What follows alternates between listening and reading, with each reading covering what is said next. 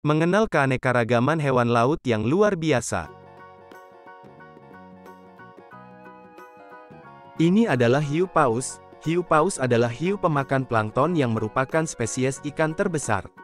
Cucut ini mendapatkan namanya karena ukuran tubuhnya yang besar dan kebiasaan makannya dengan menyaring air laut menyerupai kebanyakan jenis paus.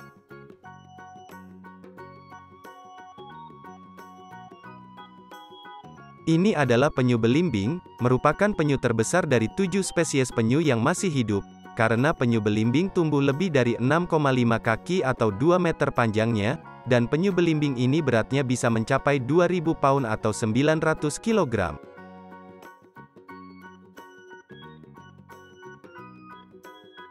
Ini adalah manate, atau sapi laut manate memiliki warna kulit abu-abu gelap.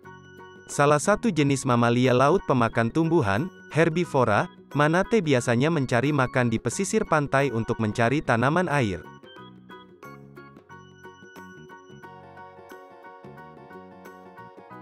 Ini adalah lobster. Lobster secara umum memiliki tubuh yang berkulit sangat keras dan tebal, terutama di bagian kepala, yang ditutupi oleh duri-duri besar dan kecil. Mata lobster agak tersembunyi di bawah cangkang. Ini adalah kuda laut. Kuda laut adalah jenis ikan yang hidup di laut dari genus Hippocampus dan famili Synthnatidae. Hewan dengan ukuran yang bervariasi antara 16 mm sampai 35 cm ini dapat ditemukan di perairan tropis dan menengah di seluruh dunia.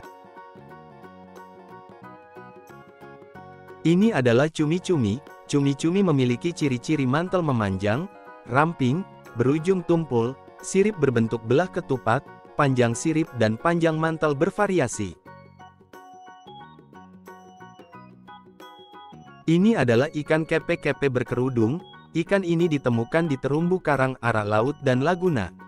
Mereka biasanya berenang berpasangan dan bersifat teritorial.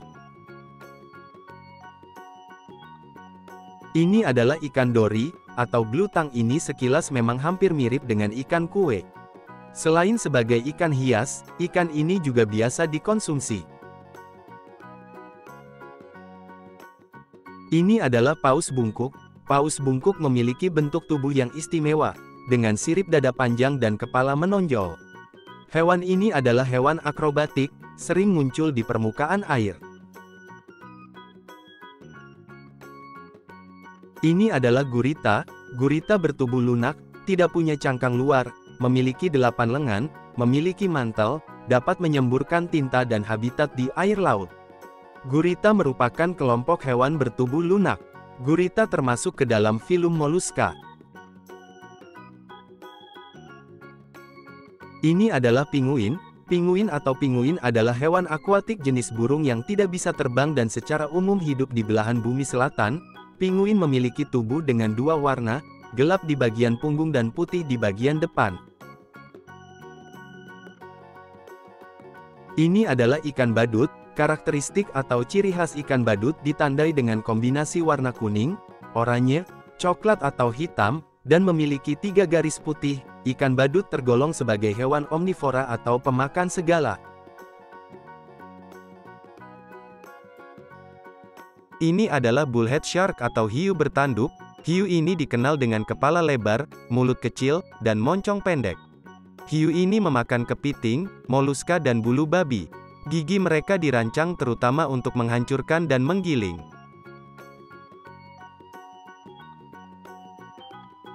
Ini adalah bintang laut, bentuk tubuhnya seperti bintang, hidup di habitat pesisir pantai.